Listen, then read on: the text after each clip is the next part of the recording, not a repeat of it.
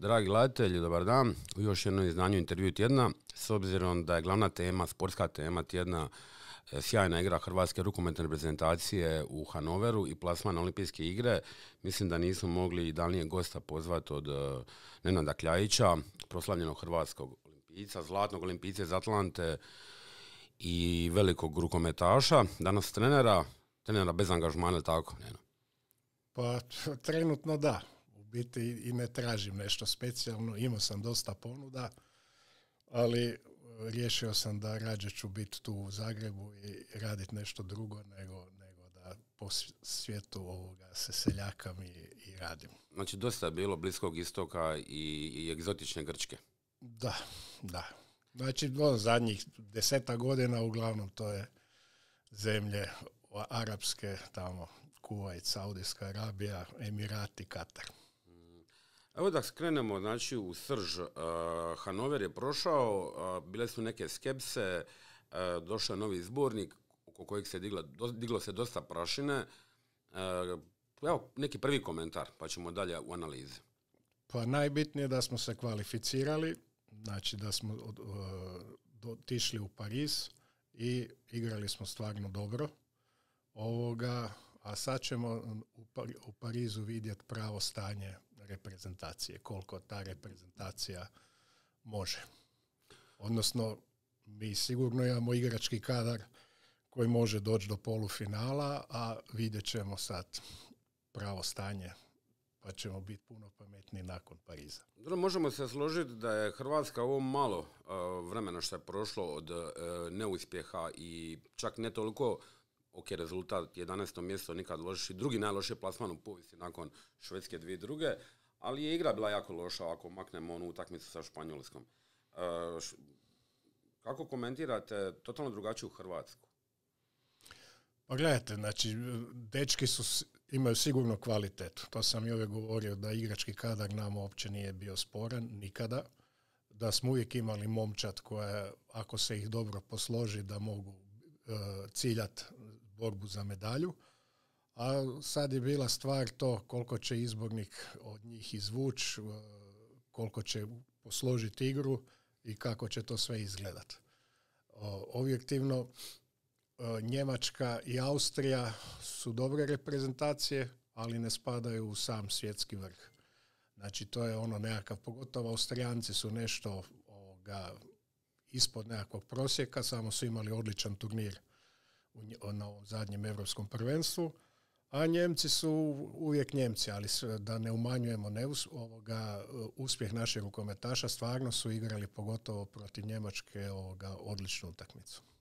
E, koliko je uloga e, novog izbornika Sigurca na svemu tome? S obzirom, pitam vas to zato što je, evo recimo konkretno Petar Metličić mi je bio rekao u nedavnom intervju da je na na ovom turniru zapravo najvažnije da se niko ne ozlijedi, jer će prava slika biti njegovog trenerskog vijeća nakon priprema za olimpijske igre i što ćemo tamo napraviti. A koliko je njegova uloga bila u ovom, on sad ciklu, s obzirom da jako malo vremena ima momčad na okupu? Pa, znači on tu nije mogao puno promijeniti, znači mogao je dati nekakve ideje ovoga taktičke kako trebamo igrati, možda kako trebamo stajati. E, sigurno je došlo do pozitivnog šoka za igrače nakon smjene Perkovca i da se svi ti igrači htjeli dokazati i svima igračima je to najveća želja otići na olimpijske igre. Uh, on je to za kratko vrijeme uspio posložiti, velim, ali pravu sliku uh, njegove kvalitete ćemo vidjeti nakon Pariza. Mislite li da zapravo ono što je bilo rečeno i u kasnije kroz medije, medijama se provlačilo da da je možda razlog ovog sad rezultata to što Perkovca su igrači u nekim trenucima, pa možemo reći, sabotirali? Ma niko nije nikoga sabotirao, to su gluposti, gledajte. Igrači uvijek hoće ovoga najbolje, bez obzira kojim je trener. Znači oni kao prvenstveno igre svaki za sebe, pa i za reprezentaciju, za državu ili za klub koji predstavljaju, to su gluposti da igrači hoće neko sabotirati. Ali očigledno da su bile popucale neke spone između igrača i Perkovca i to je onda nema, nema popravka tu. Znači to je moralo je doći do toga da se oni raziđu, a igrači zašto je to puklo? Vjerojatno nije puklo bez veze. Znači, igrači nisu glupi. Oni odmah procijene koliko trener zna, koliko ne zna, da li ima nekakav odnos sa njima dobar ili nema odnos. I to su te stvari, kažem, to igrači vrlo brzo procijene i onda ako, ako igrači procijene da trener nema nekakvo ono adekvatno znanje ili ne da prenijeta živi na tome u moje vrijeme bilo ovako i, i stalno se vraća u moje vrijeme i tako dalje, onda to kod igrača stvori ono nekakav obrambeni mehanizam i kažu ti ono, čemu ovaj priča nije normalno. To, to tako otprilike izgleda kod igrača. Vi ste zapravo bili jedan od rijetkih, pa zapravo čak mislim ne jedini, koji ste, kad je Perkovac preuzeo reprezentaciju, odmah rekli da očekujete ovo što se dogodilo. Da, jes. Jasnite. Pa znači, o Perkovcu kao čovjeku i kao igraču, nemam, znači svakakve sve pohvale, sve najbolja. Kod treneru nisam imao neko mišljenje e, dobro, a nakon utakmica kvalifikacija onak sa Nizozemskom, Grčkom i Belgijom, nakon toga sam rekao da toga neće biti ništa i da ćemo doživjeti debakl. Znači, bilo mi dovoljno par utakmica da vidim i da je ponavljao iz, iz utakmice utakmice iste greške ovoga, to sam vidio da od toga nema ništa. Je li barem nešto bilo pozitivno u toj igri? Recimo ubrzana igra, izbjegavanje konstantnog mijenjanja napad obrana? Pa dobro, to je, to je normalno danas. Ti ne možeš ovoga niti mijenjati više da, kad, s obzirom na pravila kakva jesu i brzi centar i to. Uh, svakom pametnom treneru mora biti jasno da ne može mijenjati igrača obrana napad. Eventualno jednoga ako se mijenja uz, uz liniju gdje, je tvoja klupa, ne, ali da trči po dijagonali, to je gotovo nemoguće u, kad se igra ove reprezentacije koje stvarno vuku, koji imaju dobru tranziciju ili koje dobro vuku brzi centar. E, sad se vraćamo na Dagora Zigurcana. Znači, nakon njegovog imenovanja dali ste na, svoj, na svom Facebook profilu prilično oštar komentar gdje ste rekli da je to zapravo na neki način, e, kao ste rekli, smrt za hrvatske trenere, poniženje za hrvatsku struku. Tako je. Tako je. I dalje stojim kod toga. Bez obzira što je sad ta euforija i što je medijski iz njega napravljeno kao da je Mesija nekakav da, ne znam, znači toliko je medijska kampanja da se on prikaže u dobrom svjetlu koja je odrađena od strane Gopca i, i Rukometnog saveza da bi opravdali svoj potez. Znači, da se razumijemo, ja protiv Dagora osobno nemam ništa i on je dobar trener, to uopće nije sporno. Ali smatram da Hrvatska ima isto tako dobre trenere i da su hrvatski treneri stvarali ove sve igrače sve ove godine i, i da smo mi učili cijeli svijet ovoga rukomet, e a sad se dovodi, dovodi se stranac i sad kad se neki naš trener treba prodat van, šta će reći ovi, pa vi nemate pojma kad vi, vi nemate trenere dobre kad vi dovodite stranca. I to su napravili prije nas Srbi, doveli su Španjolca, isto je bila euforija po novinama, Đerona, čudotvorac, Đerona, ovo, Đerona, ono, prošle su tri godine, šta se dogodilo, ništa tu su gdje su bili prije možda i gori.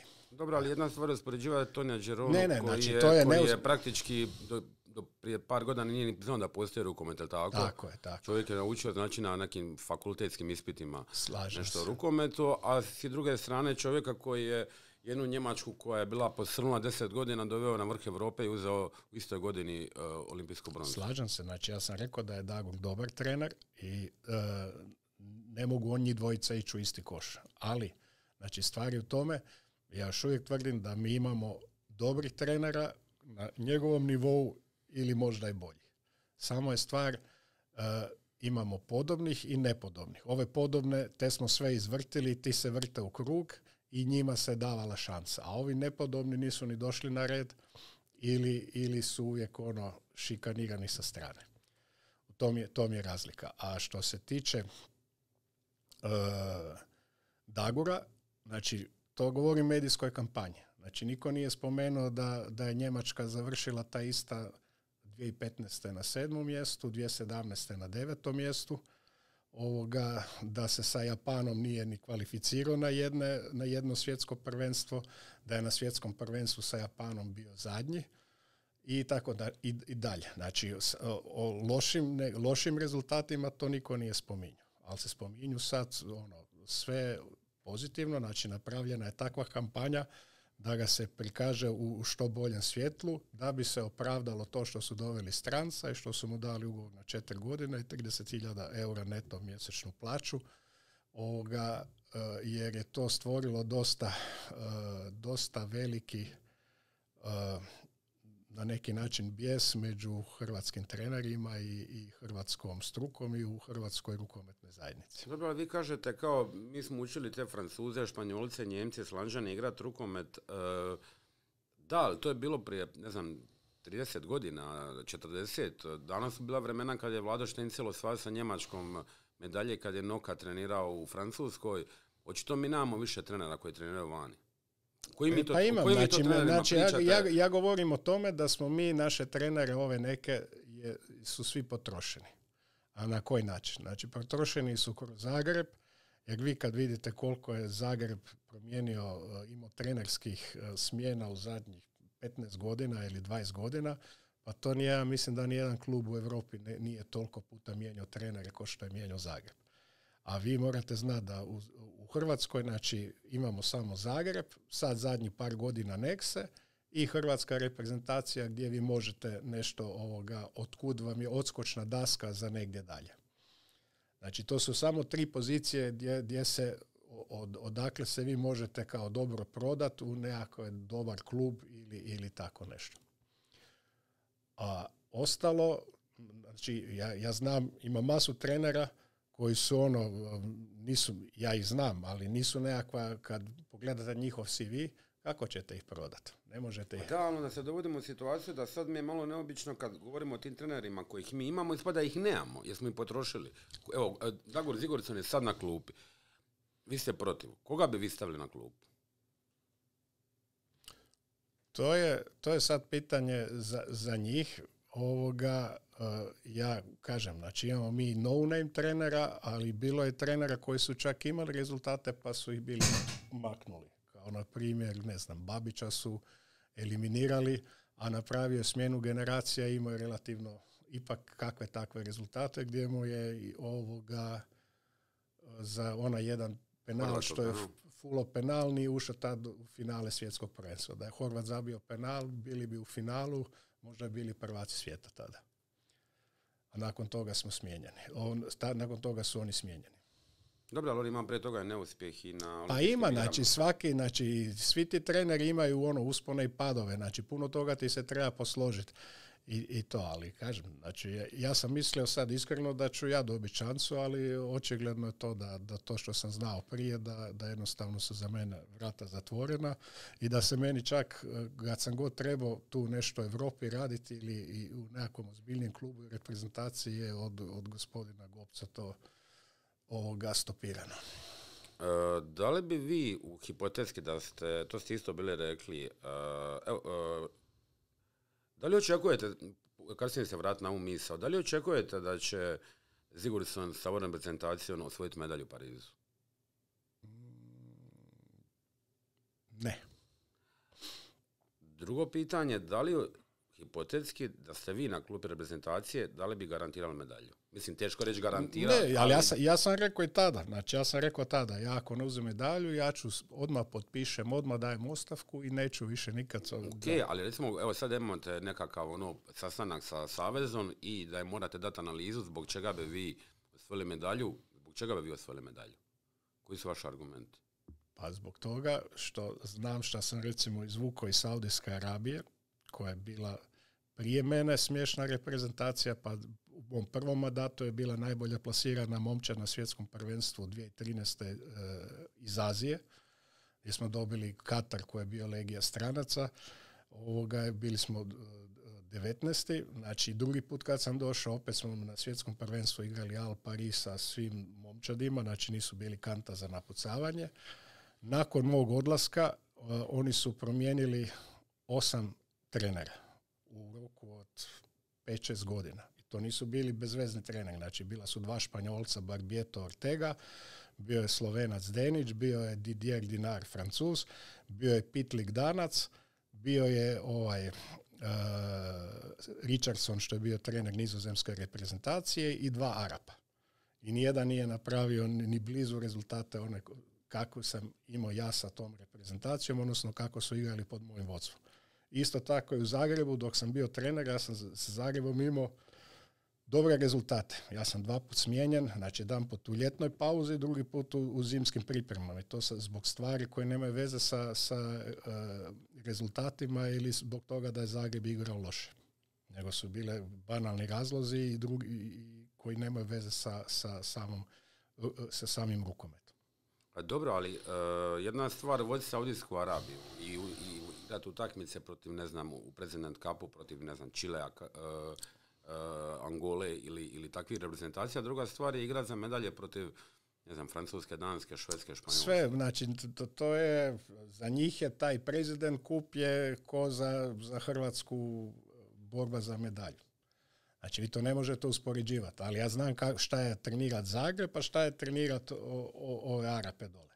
Znači, puno lakše biti trener Zagreba ili trener nekakve momčadi koji, koji imaš igrače koji znaju rukomet, koji imaju nekakvu tehniku, koji hoće slušat, koji su pametniji nego kad imate posla sa divljacima. Znači, puno teže biti trener Saudijske Arabije nego, nego trener Hrvatske. A u čemu je, uh, rekli ste kao da smatrate da Sigurdsson neće osvojiti uh, medalju, a vi prilično ga, sigurno uh, garantirali bi da će medalja doći nakon koliko je sad već četiri godine u Hrvatsku.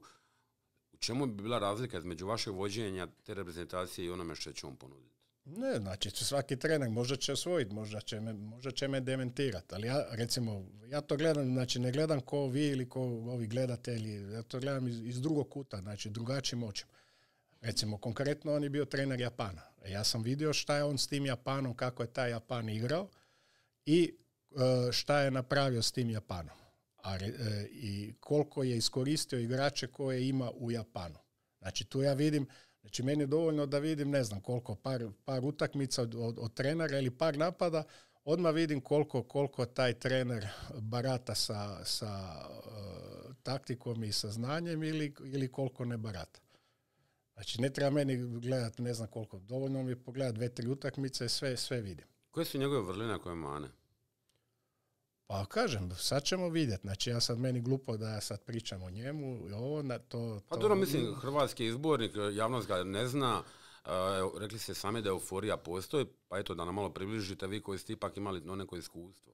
Pa gledajte, sigurno on, ja kažem, nije on, on je dobar trener i ima iza sebe rezultate, ima CV, ali ovoga, vidjet ćemo na, u Parizu kako će to izgledati. Mi ćemo sigurno izgledati bolje nego što smo izgledali na Europskom prvenstvu, to je neosporno što je bilo sad uh, u prvom mjesecu.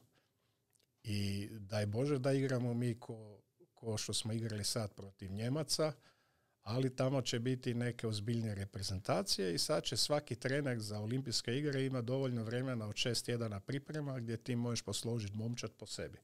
Znači, točno znaš, uh, tu se sad vidi tvoj rukopis. Jer s jedne strane je bilo priče, on za dva dana ne može napraviti ništa, a ovoga je to je bilo kao da li će uspjeti, a onda nakon toga je bilo za dva dana je napravio čuda. Znači to su kontradiktorne stvari. Znači ili, ili možeš napraviti za dva dana ili ne možeš napraviti neke velike promjene. Tako da je to ovoga, vidjet ćemo, Pariz će biti prava slika uh, koliko je on dobar trener. Mm. E, rekli ste zapravo da, da, da Gobac vas je zapravo stopirao, u, mislim moramo se vratiti na njega, to je kao nekako ono siva eminencija hrvatskog rukometa, da vas je Gobac stopirao i ovaj put da ste se nadali, nakon toga se više ne nadate. E, zašto se ne nadate? Pa zato kaj se ne nadam, jer ako sad nisam dobio nakon ovog svega što je sve koje on izredo, te ako sad nisam dobio šansu, znao sam da neću više nikad dobiti. Isto to i, i, i što se tiče Zagreba. Znači ne samo to, nego ja sam jednom onoj podcastu i rekao kad je bila sto, kad prije 2018. kad su određeni ljudi, recimo iz Rukometnog saveza Srbije, htjeli da budem njihov izbornik. Pa Gobac je to osobno rekao da to ne dolazi u obzir. Dobro, kako, je, kako je moguće da Gobac odredi što će se dogoditi Srbiji? A, pa moguće, zato jer ako on, znači, e, da se razumije, Gobac je najmoćniji čovjek u, u svjetskom rukometu, a i jedan od najmoćnijih ljudi u Hrvatskoj, ne, vezano za rukomet. A on je instalirao e, te sve, znači e, Ratko Đurković, on je, u, ne znam sad koja mu je funkcija u IHF-u ili u EHF-u, znači on dobiva tamo plaću ne znam koliko tisuća eura, a u biti ne radi, ne radi ništa, on je šef neke komisije, ne znamo. Pa Peđa Bošković iz Crne Gore, potpredsjednik, potpredsjednik EHF-a. I tako ima masu tih ljudi koje on instalira u tu svjetsku ili, ili Europsku rukometnu federaciju koji tamo jako dobro žive, koji imaju plaće recimo od 7 do 10 tisuća eura i normalno da, da oni kad dođe do nekakvih situacija da oni njega moraju slušati. Jer kako, je, a kako je, otkud, otkud Zoranu Gobicu takva moć? Mislim, to se valjda ne stvara preko noći. Pa ne stvara se preko noći. Mislim, ja bi sad mogao pričati o tome. Slobodno Pa, mislim, to i nije o tome za kog je Zoran Gobac nekad radio i s kim je sve povezan i tako dalje. E, to sad ulazimo u jednu potpuno drugu temu van rukometa. Pa možemo malo skrenuti pa ćemo se lako vratiti na rukomet. A dobro, nije, nije, nije baš to zahvalno ovo da ja sad o tome pričam i o nekadašnjim službama bivše Jugoslavije i poslije sa, sa službama tu u Hrvatskoj i, i šta je Zoran Gobac sve radio i za šta je bio, to ne znam nije zahvalna tema i moglo bi mi se odbiti u, u, glavu u, neko, u nekom drugom smislu ne vezano za rukomet. Zašto Zoran Gobac ako vas nije želio na, e, na klupi Zagreba, ako vas nije želio na klupi Hrvatske, zašto mu nije, mogli, mogao, sam vas, mogao, vas, mogao se samo vas riješiti da vas lijepo pusti u Srbiju? Eto, svi e, pa da, šta je bilo da sam sa Srbijom napravio rezultat? To je on otvoreno rekao. Znači u Splitu na, na prven, Evropskom prvenstvu gore u Loži, kad je bio generalni sekretar ovoga, Srpskog saveza, kad je e, sreo Gopca, znači stojimo Gobac, ja i, taj uh, Maza, generalni sekretar i kaže, ovaj generalni sekretar kad ga vi nećete, kao mi ćemo ga uzeti. Ne? A on kaže, nakon to ne dolazi u obzir. Veli, pa zašto ako vama nije dobar, nama je dobar. Da, on, on kaže, veli, šta da s vama kad, ako napravi rezultat, kako ću ja to opravdati ovdje. A prije godinu i nešto, ista stvar je bila znači, u nekom razgovoru kad se biro izbornik uh, Crne Gore. Uh, znači ja sam imao nekakvu komunikaciju sa Kapisodom koji je bio ovoga, predsjednik Saveza i ovoga, čovjek mi se preko noći prestane javljati. Znači više neće ni odgovoriti ni poruke ni ništa i, i onda je nakon toga su izabrali Šolu. A Šolu su gurnuli, zna se koga je gurnuo tamo. Je li situacija nekakva A recimo, evo, i sa Vespremom isto? I sa Vespremom isto, tako je. Znači, kad je smjenjivan Vranješ, Vranješ, to je bila utakmica u subotu, poslije te utakmice e, moj menadžer i, i e, ovaj glavni menadžer Vesprema, mi imamo konferencijski razgovor, znači on, on kaže, dogovorili su se već detalje, oni mi kažu pošalji, e, moraš poslati licencu da te možemo registrirati, da u sljedeću subotu već možeš utakmicu voditi ja u ponedjeljak ovoga u savez dođem i zatražim licencu da mi izda, oni mi kažu moraš navesti koji klub, ja tada im napišem za, za Vesprem i nakon toga čovjek se prestane javljati.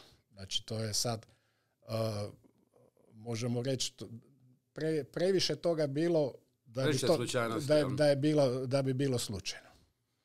Zašto to on radi, ako radi?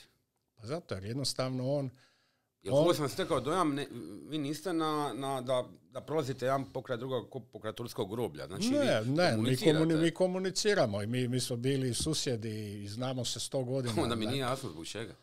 A zato jer on ima te neke svoje principe i on u svakome kome vidi bilo kakvu potencijalnu opasnost, on, on ga jednostavno reže. Zato, sad, isto zbog toga je sad i Červar ono, persona non grata postao preko noći. Zato je rušao s njim u sukob. Pa recimo, ako, jedna stvar mi nije jasna. Ako recimo vi ga garantirate medalju, ako je on siguran da bi vi napravili dobar uspjeh, zato vas i nije postavio, jer što ste jednom već bili rekli, tako, da on zna da vi ne znate ništa, stavio bi vas vi bi podbacili i rekao bi, ok, dao sam ti šansu, A tako? tako je. Znači, on e. nije mogao, on ima, recimo, u toj situaciji on nije mogao zgubiti. Ako ja ne napravim rezultat, riješio si me za sva vremena i ono, dobio si šansu. Da, ali, o, a da sam napravio rezultat, onda bi rekli, o, vidiš, prešao je preko nekih stvari, uh, bio je kao vizionar i ipak je za dobrobit rukometa mu dao šansu. Ali zato mi nije jasno, s obzirom da nakon svakog neuspjeha hrvatskog rukometa, uh, puno se manje udara po izborniku i igračima, puno više po Gopcu. Pa zar ne bi Zoranu Gopcu bilo u interesu da se napravi neki dobar rezultat, pa da se makne malo, eto, ono, tereta s njegovih leđa? Pa, pa makar po cijenu da pregazi neke sve principe i zabere vas.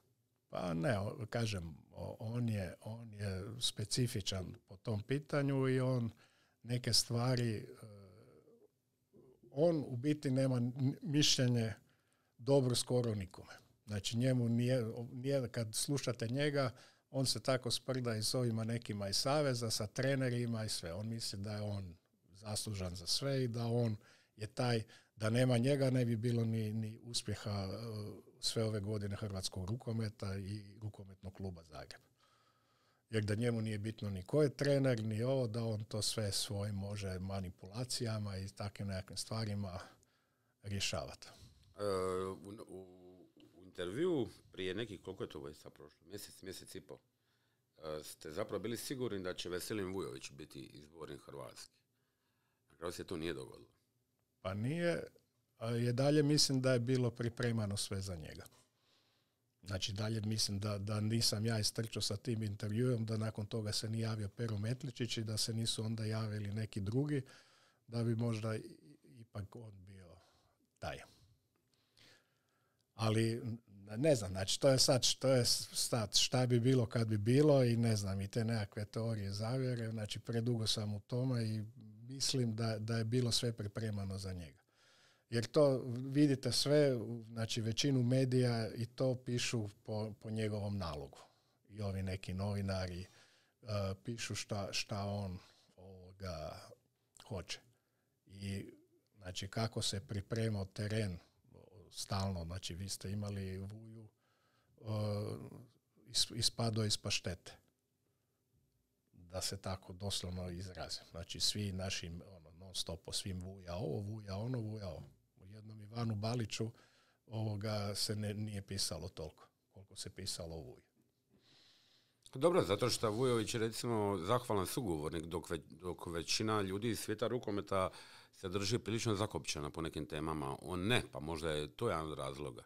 Pa dobro, ne znam, nisam takvog mišljenja, on je možda zahvalan su, su, sugovornik, ali ovoga mislim da, da su neki drugi razlozi. Jer znam da se sad, kad se vraćam u povijest, ja znam puno tih stvari koje vi ne znate ili koje javnost ne zna i koje bolje da ni ne zna. Pa neke stvari, mislim, ono, bolje da saznamo, da, da ne lutamo magli. Ovaj, kako god želite. E, stekao se dojam zapravo da nemate neki, neki odnos e, dobar sa, sa, sa, sa Ujovićem.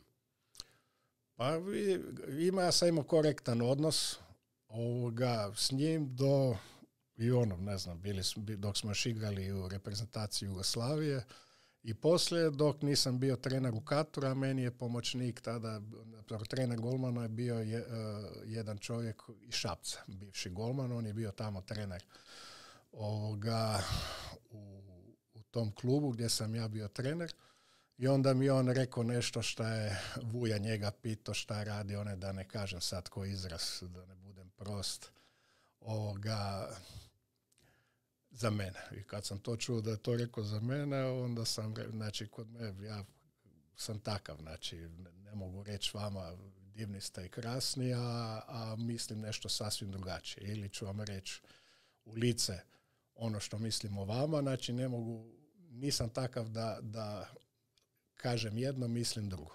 Nego ono što mislim, to, to ću vam i reći. Dobro, to su, to su neke osobne, osobne vaše stvari, ali pa recimo kod, kod, kod treneru, šta mislite? Pa kod treneru, ono, sigurno Vuja ima svoje znanje i ovoga i nije loš trener, ali nije, nije, nije trener kakav je bio igrač. Dobro, bio je najbolji na svijetu. Pa bio je, znači to neusporno. A teško je biti onda, zato sam rekao... Pa dobro, ali kaže, znači, nije, e, kad gledamo s trenerske strane, osim medalje sa Slovenijom, koja je prilično sretno bizarnim Dobro, ali je osvojena. dobro. Medalja koji sa Slovenijom koja, da, ne, da se ne lažemo, imala top momčad, tada u to vrijeme. Drugo, ne znam, dajte... Što se dogodilo u Hrvatskoj u toj utakmici? Ovo je sad malo totalno, da, da se maknemo sa teme, e, jer mi je jako neobično da vodiš 7-8 razlike 15 minuta prije kraja i izgubiš utakmicu. A to je ono kad misliš već da je gotovo i, i možda se opustiš i to, to se dogodi jedan put u ne znam koliko, ali bilo je takvih utakmica. Je to možda bila posljedica šoka o, Horvatog penala? Nije. Nema to veze. Nego su oni već mislili vjerojatno da je gotova utakmica i tako onda mislite. Jedna, druga stvar, se, jedna za drugom se događa. Ne znam, ja sam znao, ja sam recimo sličnu utakmicu imao sa Katrom. U, u ovom gdje smo mi gubili, ja mislim, isto 11 razlike i ne znam koliko je bilo i na kraju smo uspjeli izvući nerješeno i na penale smo i dobili. Ali ono, ka- kad 20 minuta do, do kraja je bilo, mislim, 11 razlike za Katar. Pa smo mi odigrali nekakav pres, ono, 3-3 skoro pressing i tu smo ih slomili bili zadnjih 15 minuta. Tako je i ovo, znači, isto se kad, ima, kad je onaj Vesprem isto izgubio, kad je bio dobiven utakmicu. Mi u već- finalu, pa, pa, da, pa. E, To je sport. Koliko, e, koliko e, su šanse neke da pronađete posao neki angažman u možda neke od evropskih klubova, pošto ste rekli da... Evo zapravo rekli ste u Zagrebu reprezentaciji ne. Da li bi željeli možda Znači, ovako nek se- preuzeti? Ne znam, nije, znači, e, sad ću vam ja konkretno za moj slučaj. Znači, ja sam imao sad ponude da idem u Mađarsku i da preuzem jednu afričku reprezentaciju, ovo, znači, ja ne moram više to raditi. Znači, ja imam nekakve izvore prihoda van rukometa od koje mogu pristojno živjeti. Znači, meni je bila želja i san da budem trener hrvatske reprezentacije, ali to naravno se neće dogoditi nikad. I jednostavno, e, kad sam mogao, kad su me zvali iz Njemačke, ja sam i tada bio odbio. Zato jer kažem, znači ja kad sam uh, prestajao igrat, još uh, tamo krajem 90. i početkom 2000. godine, znači meni je nuđeno bilo Grosvoštato i rekli su mi, hoćeš biti trener, hoćeš biti menadžer kluba ili biraj šta, koju poziciju hoćeš. Nakon toga ja sam rekao, ja sam vraćam u Hrvatsku zbog posla kojeg sam uh, imao i zbog firme i da me to ne zanima. Ne? I kažem, znači zvali su me još da kad, kad se vrati u Zagreb, uh, 2001. su me zvali ponovo u Kiel da idem igrat i ovoga i ono već je bilo da se ponovo vratim u Njemačku, ali ne znam, Noka Segdarušić je rekao da moram doći u srijedu, ja sam rekao ne mogu doći prije srijede, moram spakirati neke stvari, mogu doći u petak. I onda je rekao ne, ne moraš doći u srijedu, onda samo je rekao da dobro, neću ni doći. Tako sam ovoga maknuo Kili i kažem, i onda su me zvali iz Gepingena, iz još jednog njemačkog kluba ovoga da budem, ali tada sam ono, bio još u tom poslu sa bananama i firma je stvarno radila dobro. Prodavali smo Dobro, oko, mislim, oko, oko- kil, ali ali je, kil, znam, ali ali kil. gledajte, kil, ali ja, ja sam prodavao 100 tona banana dnevno. Mogu je to neko drugi raditi? A nije mogla, nije mogla. Tada još nije, znači tada nije moglo jer ja sam morao biti tu.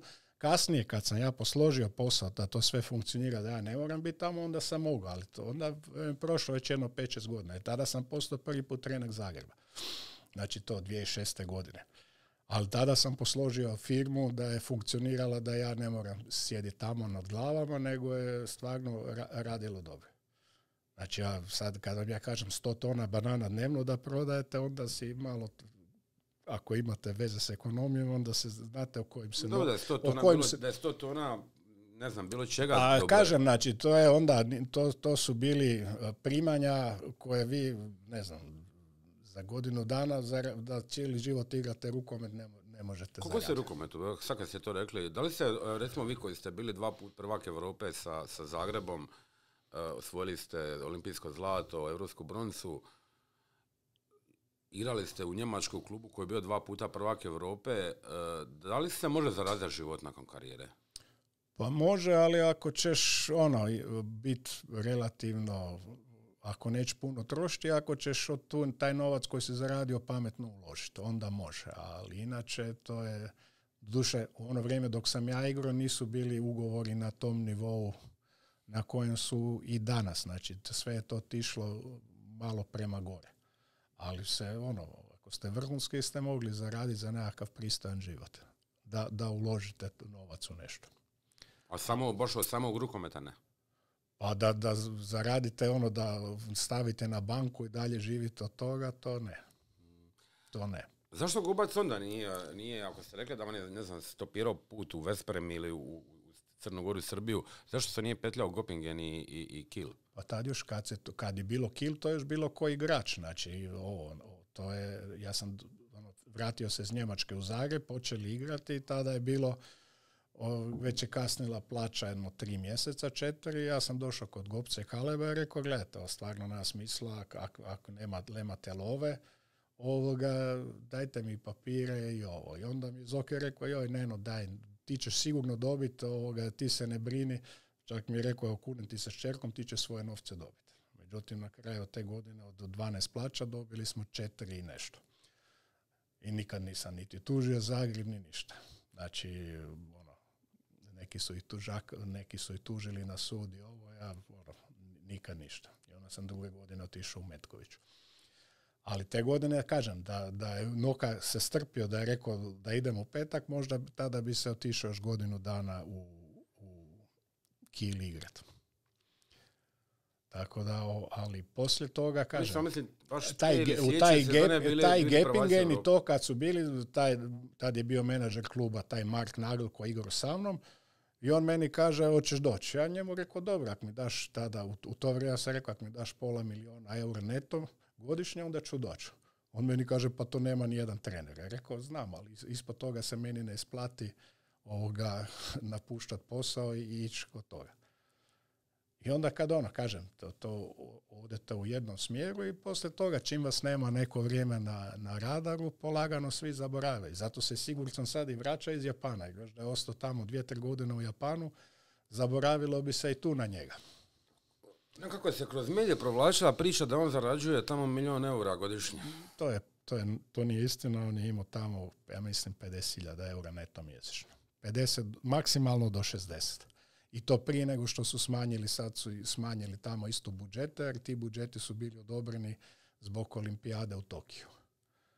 A sad više ovoga je pitanje koliko bi tamo bilo da ko je, ko je najskuplji trener? Bio Ljubav Vranješ ili tako u Vespremu? Pa dobro, to on je imao 63 tisuće Vesprem i mađarska reprezentacija kratko neto, a najplaćeniji je bio Rivera.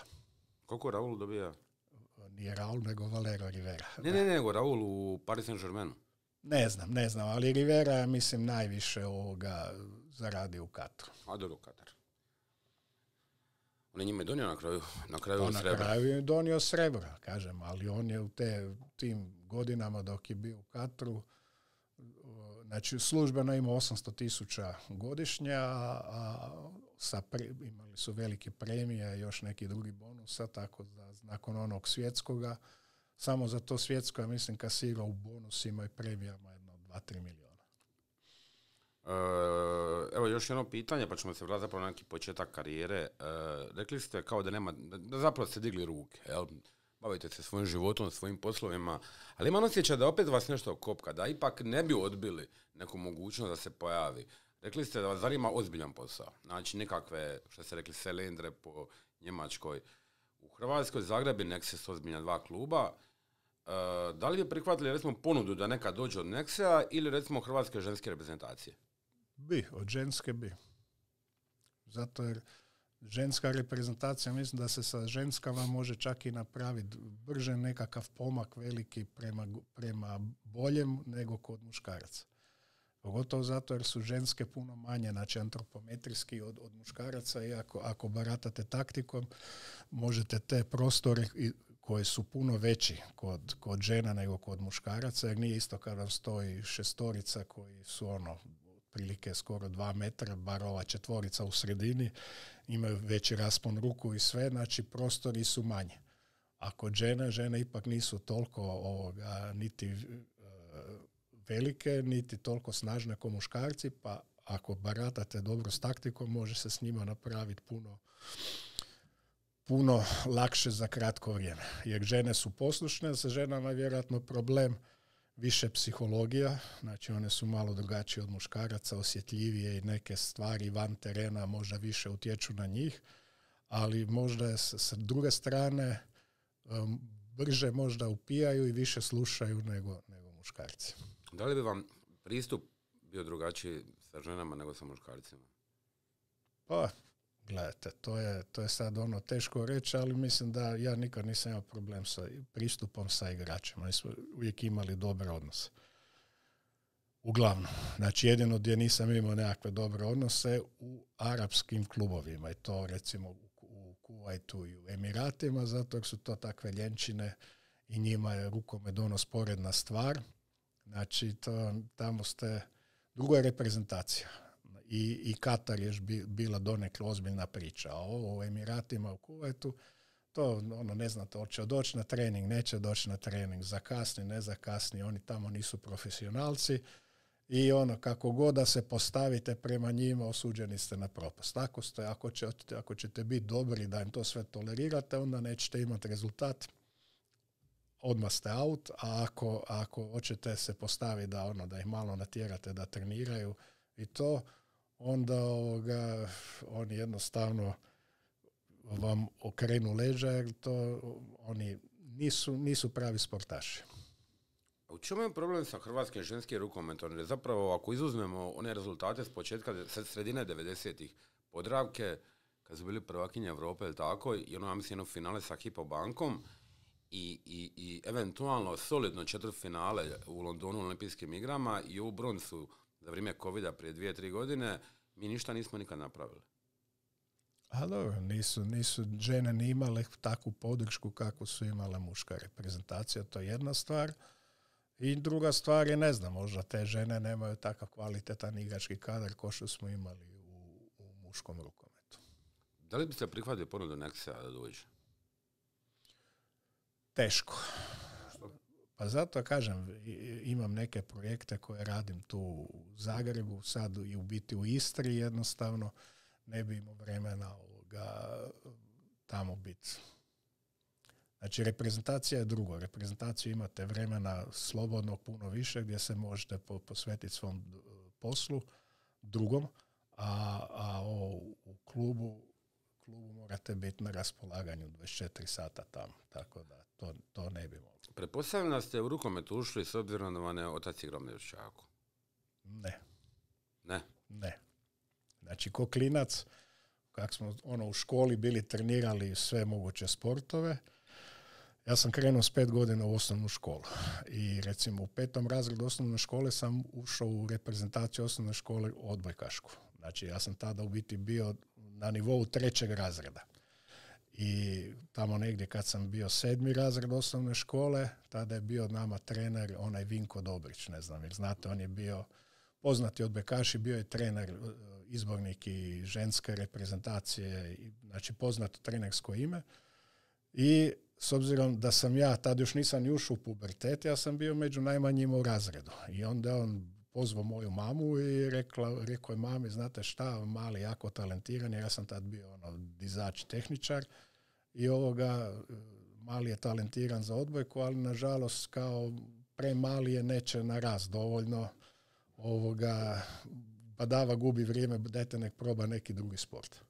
I onda sam ja tako, kako sam ono trenirao u školi rukomet i onda sam rekao, hoću ići na rukomet. I onda je stari rekao, ovoga, daj, ne, nema me zezat, ovo ono, i u biti mama je bila ta koja me odvela na trening gore na šalatu u, Medvešćak. Tako da je to bila ono isključivo moja želja, ne... Sad ti on stari bio protiv? On ne, njega je bilo baš briga, znači on je, on je ono, jer sam u to vrijeme znao igro malo trenirao tenis i hokej na ledu, gore na šalati i ovo, onda stari rekao, kaj pa ti nisi normalan, daj se od ovoga, izaberi koji sport, jer ja sam se bio znao dizat ujutro oko 5-6 da bi išao na trening ujutro gore na šalati hokej na ledu, to je bilo negdje oko, oko, se, pola sedam ujutro. I onda smo ono trčali u, trčao u školu, pa poslije škole, ne znam, slobodne aktivnosti, pa jedan trening, drugi stari rekao, ti nisi normalan, ili ne mreš tako. Znači, izaberi je, jedan sport i to je to. Tako sam ono, ušao u rukomet i onda, ne znam, isto kako sam bio mali, relativno mali i, i kasno ušao u pubertet, početku sam ono bio smješan i onda sam ono jedno ljeto izrasao jedno 12 cm i maltene u, u roku dvije godine od rezerve treće momčadi Medveščaka sam došao do prve momčadi da treniram s njima. A sa 17 godina sam debitirao Jugoslavensku ligu, oficijalnu utakmicu već. E, tada Zagreb nije ni postojao na mapi, on je bila druga ili treća liga. A da, Zagreb je bio druga liga, ono, ušao je te jedne godine u ligu, prvu ligu, pa je ispao opet nazad u drugu ligu. I onda kad je ušao drugi put u drugu ligu, s obzirom da u Medveščaku e, nisam dobio adekvatnu priliku da igram koliko sam po mom mišljenju tada trebao igrat i ovoga, onda sam prešao u Zagreb. Vam stari tada bio trener? E, ne, ne, ne. Stari mi je bio trener u Medveščaku do... Znači, kad, kad sam otišao u vojsku posle gimnazije, do, do tada mi je bio trener. I onda je on otišao u Njemačku, prvi puta 84. ja sam otišao u vojsku i kad se vratio iz vojske, onda je trener bio Šojat u Medveščaku. A tad vam je bio trener i Gobcu Medveščaku? Da. I to je u biti zbog tate je na neki način Gobac tu gdje je, jer je Uh, stari mu je moj rekao Gopcu da je tada se skidalo samo 12 igrača. Nije bilo kod dana 16 i nije bilo nekakve love ni ničega. I stari je procijenio i rekao mu je, rekao Zoki slušaj, vidim da si inteligentan. Zoki igrao krilo ali dobro puca penale. Rekao, vidim da si inteligentan, rekao, gledaj, nećeš ući u 12, možda tu i tamo ako se neko povrijedi, e, treba će bolje se prihvati nečeg drugoga, nego da tu gubiš vrijeme, zgubit ćeš par godina, nećeš ništa napraviti, da probaj raditi bilo šta drugo. I ovo, to tada Gopcu to nije bilo drago, ko ni svakom mladom dečku, jer je sigurno imao ambicije da, da bude nekakav rukometaš i to, ali na kraju se spostavilo da je učinio uslugu. Imali ste zapravo odličnu momčad taj Medvešak, uh, druga polovica 80-ih. Da. Uh, ali ipak nisam mogli do titule. Pa, uh, nismo. Nismo. Znači, tada je bilo svojit prvenstvo Jugoslavije teže nego biti prvak Europe. Koliko je liga bila jaka. Plus to što je recimo tamo na onim nekim terenima bilo opće da li ćeš izvući živu glavu ili nećeš. Postane neki proleter Šabac? Pa no, proleter i Šabac još bili dobri, ali bilo je dole ono Peliste, u Bitoli, ne znam, Leskovac i takvi tereni gdje, je bilo ovoga još puno gore. I ovoga i Medveščak je tada, znači mi smo, mi smo osvajali kup bili i onda su došli te Prvo je došao Bašić i poslije je došao i, i Saračević i Smajlagić. Bio je Perkovac, bio je Jarak koji je isto bio reprezentativac tada Jugoslavije. Imali smo stvarno dobru momčad. Ali bili smo tamo ono, negdje drugi, treći. I s obzirom da, kažem, tada sam bio ja mladi igrač i po meni se forsira jedan drugi igrač, neću ga imenovati jer je bio kum od ovoga Perkovca, najbolji prijatelj. On je morao igrati na poziciji pivota, a ja sam ono igrao samo obranu i povremeno u napad. I onda sam otišao u Zagreb. E, ubrzo taj Zagreb postaje zapravo nasljeđuje metaloplastiku i postaje, ajmo reći, zapravo simbolom rukometa na ovim prostorima. Dva puta prvak Europe, strašno momčad. Da. Kažem, Zagreb je tad ušao iz druge u prvu ligu i onda smo došli u, u kostur Zagreba koji su bili Gudelj, Tomljanović, Geratović, uh, pokojni uh, Nekić, Peribonio, došli su bili ovaj Goran Stojanović iz Zvezde, došao sam ja iz Medveščaka, došli su Jelčić i Obrvan. I ovoga... To je zapravo bila, bila čitava reprezentacija Hrvatske na Ruskom prvenstvu u Portugalu. Pa skoro da. Znači Zagreb, je, Zagreb je bio, znači Zagreb je bio početak i tu su sigurno Gopčeve zasluge daleko najveće. U to vrijeme da nije bilo Gopca nikad ne bi Zagreb bio to što je, niti, niti bi hrvatski rukomet ovoga bio to što je danas. Znači njegove zasluge su neosporne. Znači ja ne mogu reći, e, znači te stvari mu ne može niko osporiti. On je bio vizionar koji je još tada rekao da će od Zagreba napraviti prvaka Jugoslavije, pa su mu se svi smijali. I Zagreb je ušao iz druge u prvu ligu i te odmah godine smo bili prvaci Jugoslavije. Odmah. Onda drugu godinu smo kiksali u polufinalu i kupa i u polufinalu play-offa i onda zadnja godina Jugoslavenske lige smo opet osvojili kup i prvenstvo Jugoslavije. I nakon toga bili dva put prvaci Europe. E, s reprezentacijom Jugoslavije ste, um, ajde, neki zanemarimo uh, igre dobre volje u Sjetlu, ali recimo polufinale svjetskog prvenstva Čehoslovačka 90. ono kad su Šeđani prvi put osvojili Albenga Boys i Zlato. Uh, četvrto mjesto. Na polovremenu ste vodili prilično, imali ste priličnu prednost protiv Rumunjski. Da. Šteta. Hoću da vam ispričam to što je bilo na tom svjetskom prvenstvu. Rado. Ovako, znači nama je tada bila sponzor glavni Mazda.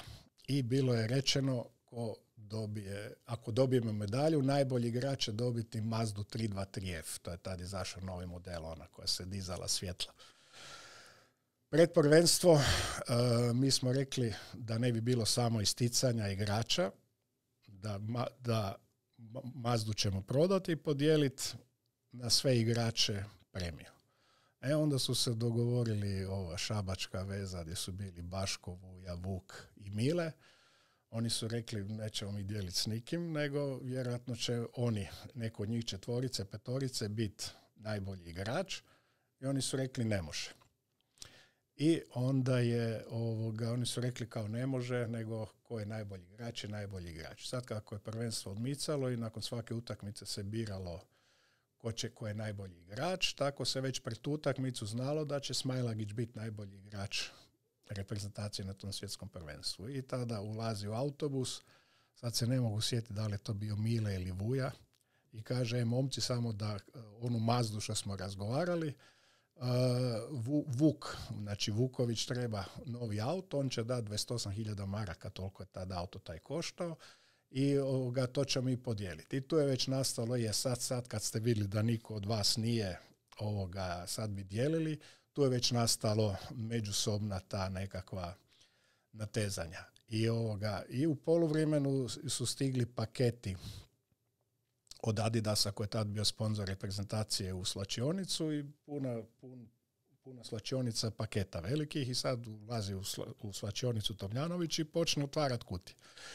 I Vuković tada, šta ti gledaš kao kosti, šta imaš gledat po kutijama, ostavi to, ga, to nisu tvoja posla i opet je onda nastala šta ste vi pa nije ova vaša reprezentacija, jer to je bio stalno taj neki animozitet između te stare garniture šabačke i ovih nekakvih mlađih igrača, jer oni nisu ni cijele pripreme nisu ni odrađivali stalno s nama, jer su oni bili tad u Barceloni, pa su stalno odlazili s priprema i dolazili i tako dalje.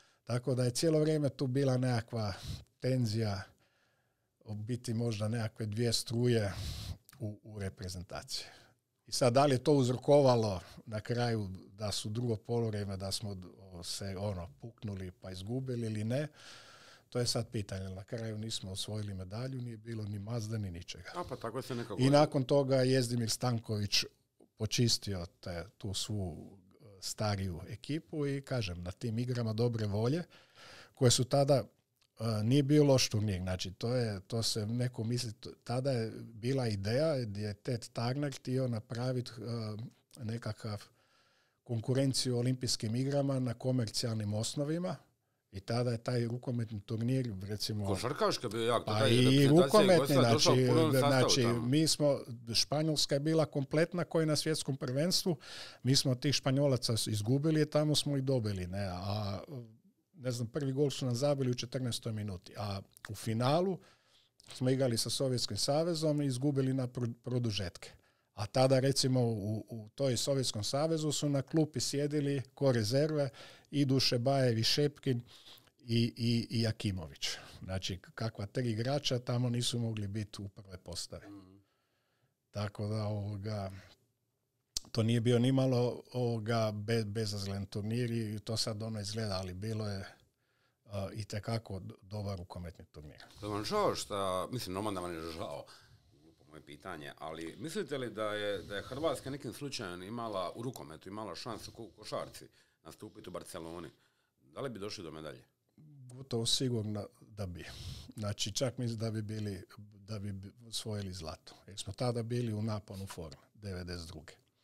I taj kostur oko Zagreba, znači sam Zagreb, Stvarno smo te 92. bili... Ko je ZND, zapravo bivši Sovjetski savez osvojili tako zlato? A to je bila, bila situacija, znači na te, te olimpijske igre se kvalificirala još Jugoslavija. I onda je došlo do raspada Jugoslavije. Gobac je predlagao ovima iz Srbije, rekao, iz Srbije Crne Gore, odnosno oni su tada još zvali Jugoslavija. Rekao im je ovako, rekao, pustite nas da idemo mi ko Hrvatska, muška, vi odite ko ženska, imate bolju žensku. I onda su oni rekli, to ne dolazi u obzir, mi ko jedno i drugo.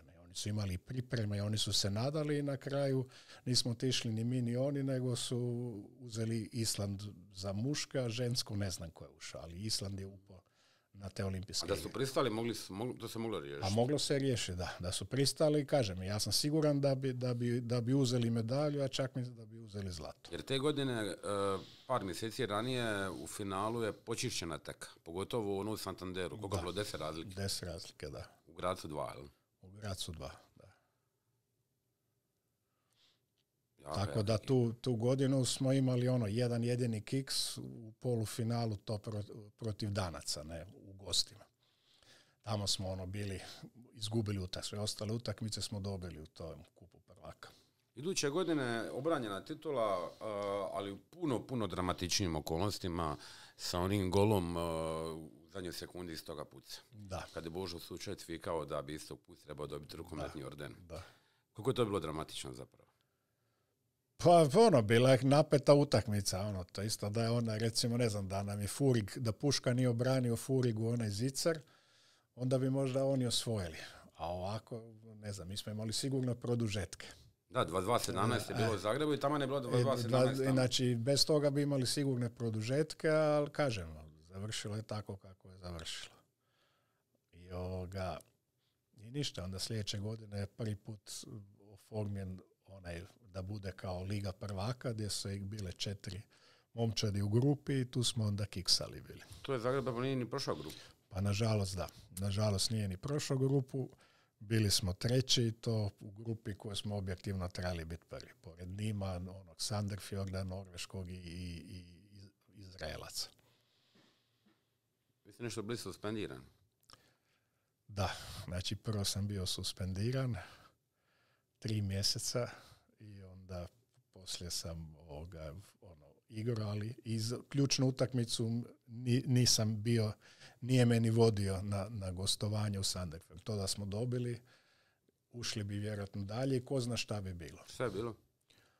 Pa početkom te sezone mi smo ono već vidio se pad do nešto malo u igri ne znam i tada je Zovko mijenjao da ne igramo više 3-2-1 nego nešto 6-0 i još nekakve druge izmjene.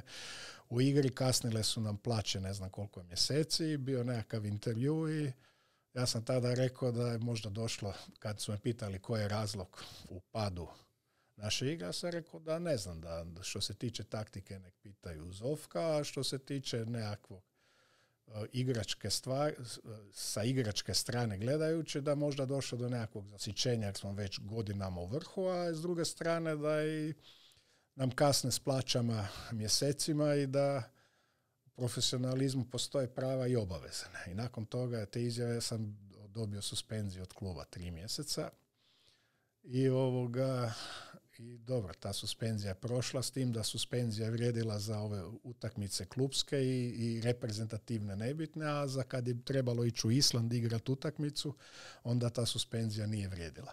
Onda sam mogao igrati. I onda zadnja utakmica u Sanderfjord, to da smo pobjedili, znači išli bi dalje. Došao mi je Zovko i rekao mi je, ovoga, znaš šta, neću te voditi u, u Sanderfjord. Ne ja ga pitam ono, u čudu, zašto?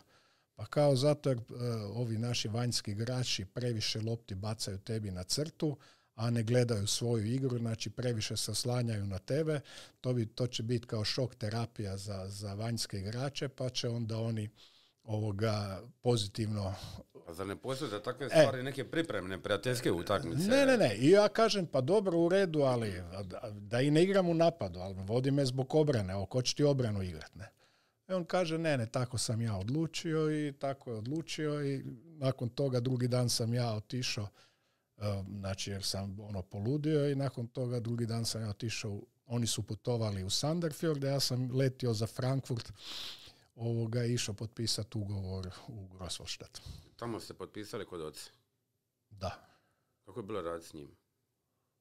Pa bilo je dobro, mislim, stari moj dobar, ono, dobar trener. Meni s njim najteže bilo raditi jer ono, jedino kod njega ovoga, on je ono, tjero možda i više nego neke druge. Da mu neko ne bi prigovorio, ne znam, da imam nekakvu protekciju i tako dalje.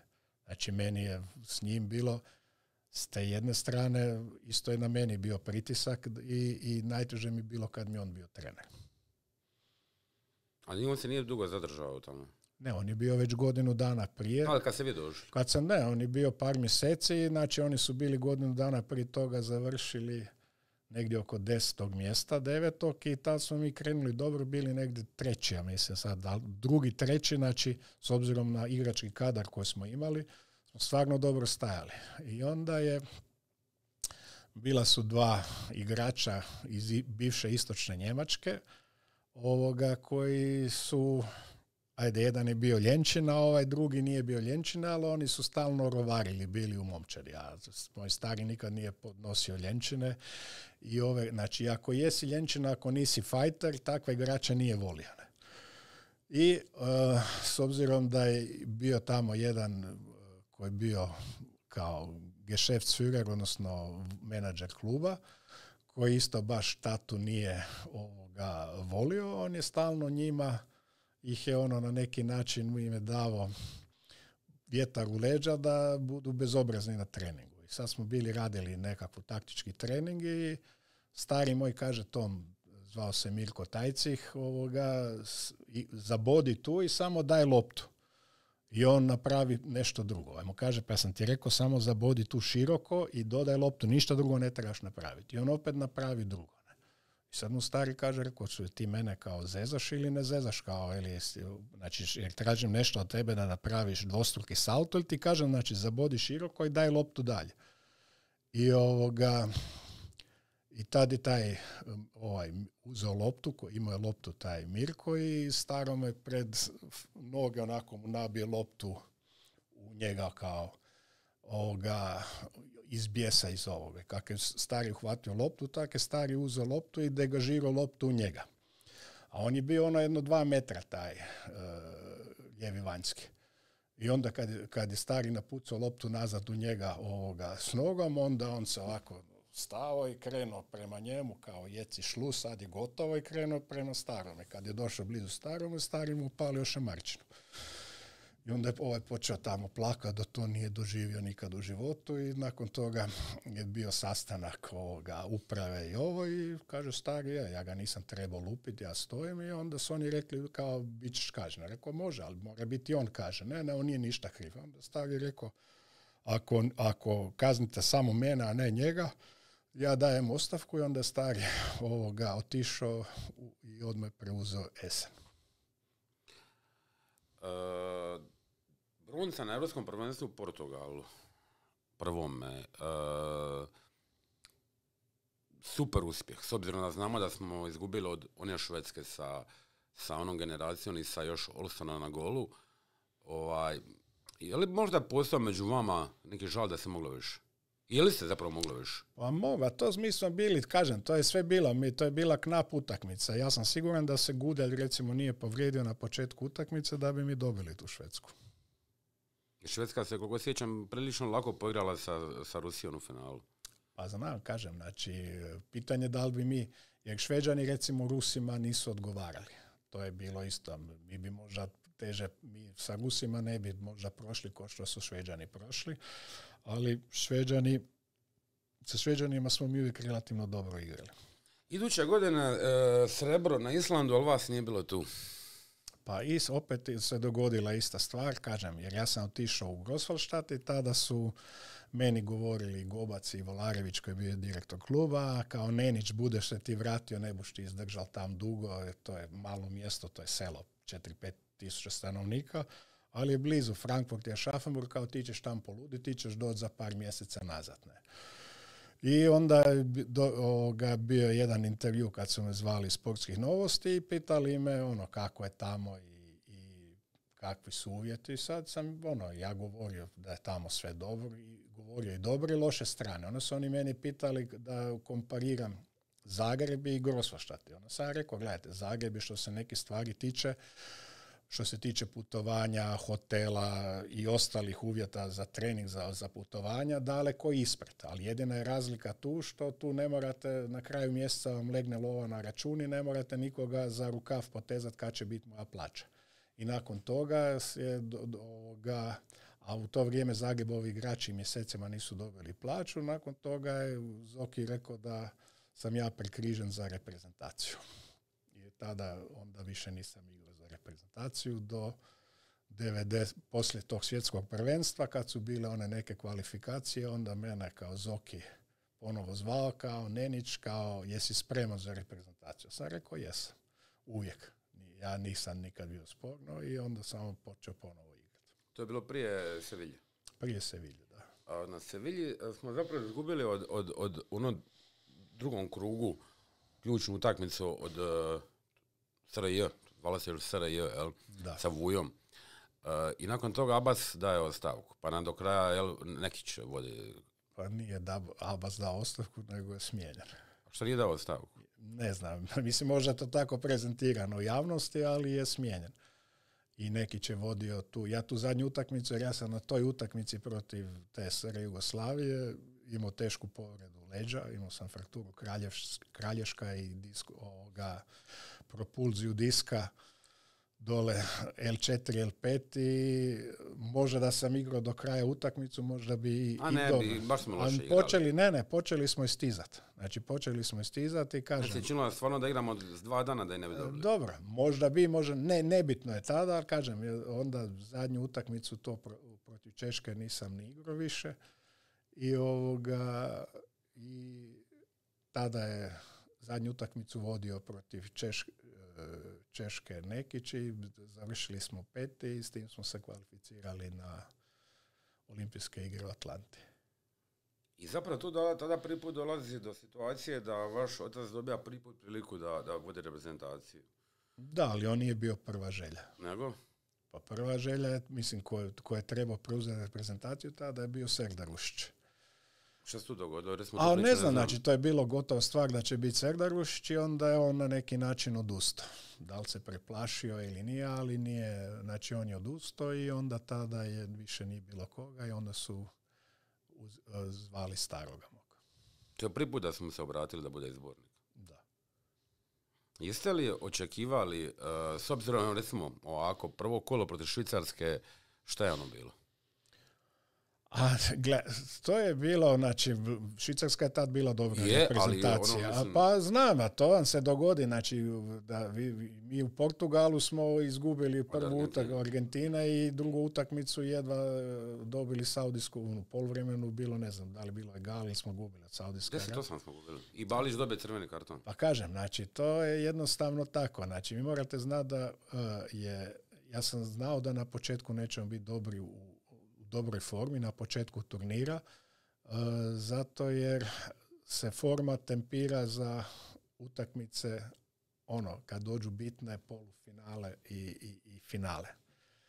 Znači, e, na početku mi smo gubili bili one prijateljske utakmice, ne znam s kim smo igrali, sa, isto sa Brazilom ili s nekim i sa Alžirom, ono, isto je bilo Lila. Znači, pred sam, pred sam početak olimpijskih igra još nismo bili u, u, u top formi. I tu utakmicu uh, protiv Švicarske ovoga smo na kraju dobili i tad je krenulo sve. Ono, kak je završilo. Je li je utakmica, mislim tada si drugačiji sistem, bile su dvije grupe po četiri, tako? Ne, bile su dvije grupe po šest. Po šest, ali samo prva dva idu direktno prva dva u idu polufinale. Znači, da li je očito je bilo da Šveđani su prvi i mi Rusi igramo za ovaj... Pa nije se znalo da li će biti Šveđani prvi. Pa, Znači mi smo, znači bilo ali, ali, su mi, ali, se, ali je bilo zapravo evidentno da će ključna utakmica biti ta protiv Rusije. da, ali mi da smo, da smo mi, mi smo mogli na kraju dobiti Šveđane, još uvijek smo bili, znači, ali sa, sa protiv, protiv Rusa Smo sigurno prošli. smo sigurno Da. ušli u polufinale. A da smo izgubili od Rusa, onda Trebali bi smo, se vaditi protiv Šveđana, koji su bi- dobili... e, koji su do- dobili Ruse, ali onda bi trebali dobiti ono Zato kažem da je ta utakmica bila ključna. S obzirom na, na, na, na kako je to sve skupa izgledalo, kako je završilo, da li je to možda najdramatičnija utakmica koju ste ikad odigrali? Jer oni su vodili, znači, a, s tim da njima igrao je Remi. E, oni su vodili, jedan razlike, e, mi imamo igrača manje, Jelčić zabija onaj gol iz mrtv, ne mrtvog kuta, nego mrtvog mrtvog kuta i oni dobija pola minute prije kraja sedmerac, puca ga Torgovanov. Da. I ništa, jo, kažem, to je sa priča je poznata. Jer on, ja mislim, premašio i, i ranije već. On nije to, i, znači dva sedmerca su oni fulali pred kraj. Koliko se sjećam. Ja se sjećam tog jednog, mogu, A to, znači, još i prije, znači, ja i sad taj zadnji, kažem, znači, a, Torgovanov, tata moj bio trener u Valavu, Torgovanovu. Znači, kao otprilike, on je tada zvao bio Matoševića, sam bez veze, ovo, samo stoji tu, nek on razmišlja šta ja tebi sad pričam. Takva je bila priča, ne, ovaj, rekao ti brani po svom, ali nek, nek on, čim počne razmišljati šta ja tebi sad govorim, ta, ovoga, to je za njega loše. I onda stari ga sa strane mu to nešto pričao i kažem, Valter je obranio taj penal i onda ono, maltene u zadnjoj sekundi ova zabio, Jović zabio onaj gol i tad smo osigurali polufinale.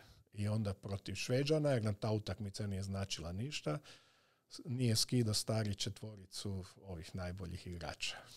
Dobro, Francuzi u polufinalu su relativno lako pali. Lako, da. E, ali u finalu opet drama, a imali smo koliko? 6-7 razlike. Pa ono, otvorili smo utakmicu fenomenalno, vodili cijelu utakmicu, ali na kraju su nas ono stigli. Vi ste zabili zadnji gol. Da.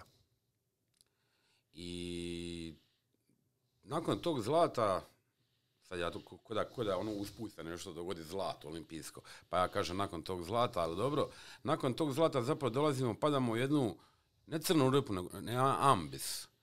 Znači od 97. do 2003. Zašto? Pa jedna stvar je što dio tih igrača je već bilo blizu zalaska karijere. Druga stvar je bilo to nakon toga olimpijade. 97. dovode nam trenera koji ne znam, nije baš, nije bio na nivou. E, mislim da je Puljević vodio u, u Japanu. Tako je. I tada je bilo onaj i, o, načetih igrača sa povredama i ovo i tu smo isto završili baš loše.